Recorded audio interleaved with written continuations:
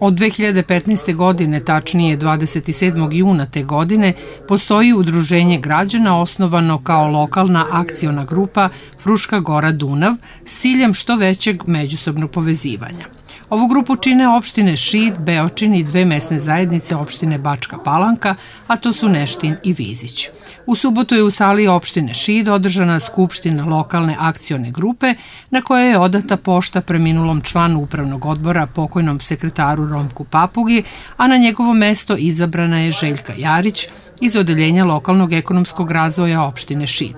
Sve prisutne pozdravio je i predsednik opštine Šid Zoran Semenović. Zaključci sa redovne skupštine koja je održana u subotu u Šidu e, su e, da po planu rada za 23. godinu aktivnosti se nastavljaju na jačanju promotivne aktivnosti, jačanju e, turizma, poljoprivrede kao sektora ruralnog razvoja i povezivanju javnog, privatnog i civilnog sektora za opštu dobrobit građana u ruralnom području.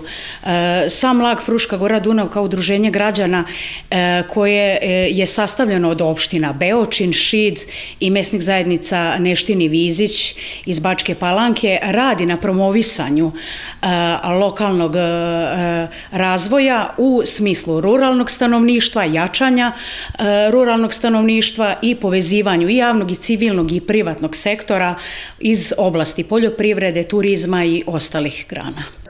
Na Skupštini se govorilo i o realizovanim projektima u 2022. godini, kao i o planu za 2023. Akcenat je stavljen na manifestacije Interfest, Ukusi Vojvodine i Bakin Špajz, koje je LAG podržao u potpunosti i pružio priliku poljoprivrednim proizvođačima, mesarima, vinarima, medarima, kolačarima da svoje proizvode na adekvatan način promovišu, plasiraju i prodaju. Nešto više o planu rada za 2023. godinu govorio je Zoran Jovičin, član upravnog odbora, a predsednik Skupštine Slobodan Radovanović istakao je značaj projekta iz oblasti sporta.